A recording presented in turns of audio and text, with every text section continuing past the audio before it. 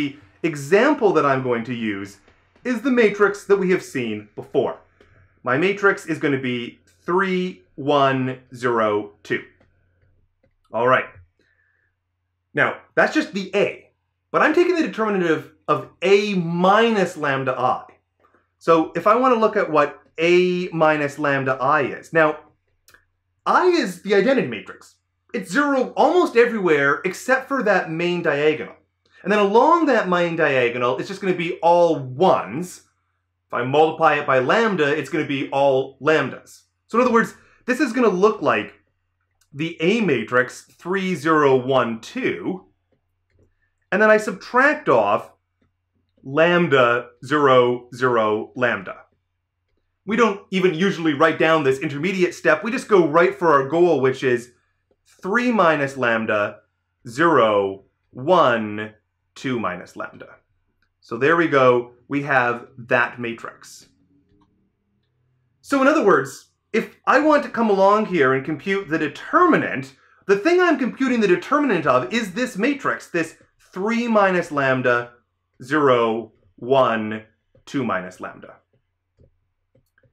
And I know how to take a determinant of a 2 by 2 matrix. It's just going to be the main diagonal minus the off diagonal.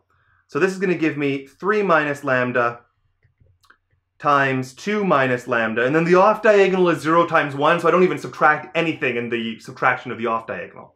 And what we are asserting here is that this determinant is equal to 0. And I've chosen a nice simple example where that means that there's only two different possible roots to this equation. It means that my lambda is equal to 2, or it means that my lambda is equal to 3.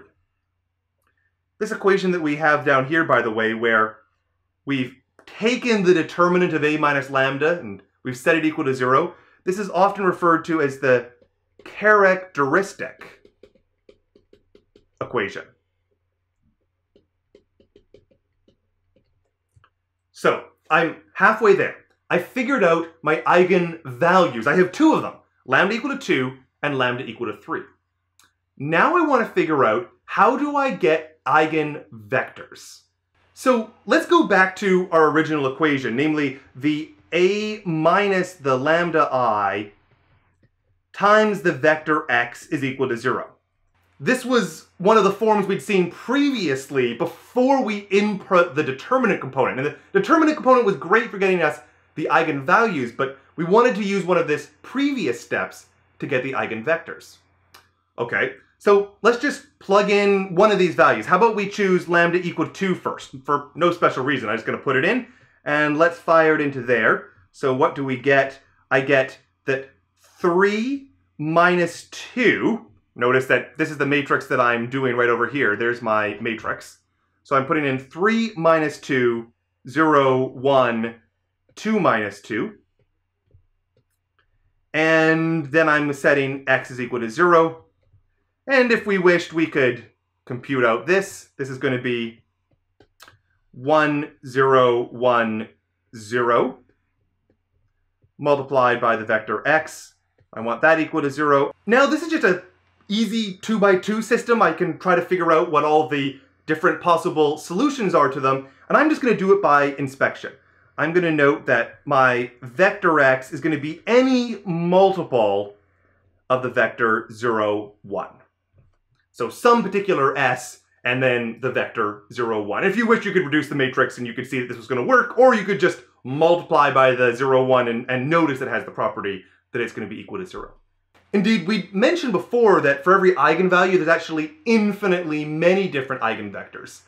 It's somewhat customary here to only refer to the so-called standard one, the, the one that just clearly comes out if you're going to go and do your Gaussian elimination. And even though every scalar multiple of it that's non-zero is qualifying as an eigenvector, we usually just use 0, 1. And so I will say something like this. I'll say that 0, 1 is an eigenvector that corresponds to the specific eigenvalue of lambda equal to 2. Now, you'll recall that what we had done in here was chosen lambda equal to 2, and we said what eigenvectors correspond to lambda equal to 2. But let's repeat exactly the same computation, but this time for the other eigenvector, either eigenvalue rather, lambda equal to 3. All right, so if I'm going to do this, I'm going to have the equation 3 minus 3, 0, 1, 2 minus 1, all of that times x is equal to 0. So that was just taking lambda equal to 3 and plugging it into our formula. In other words, I'm going to have a 0, 0, 1, minus 1 times the vector x is equal to the 0 vector. And if you want to go through the full process of trying to solve this homogeneous system of equations, you can do that. It's usually easy enough to go by inspection and note that, hey, the vector 1, 1 works.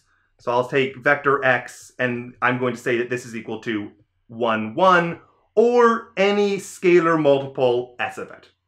And so we're going to again assert that 1, 1 is an eigenvector, but this time it's for the value of lambda equal to 3. And I've chosen the canonical one, although of course any non-zero stretching of it would work as well.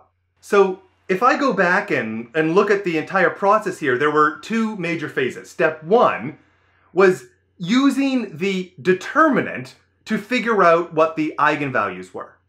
And then phase two, it was coming along here and figuring out corresponding eigenvectors by plugging each of the different eigenvalues into this formula. Now, I want to note that these results match the geometric results that we've seen previously.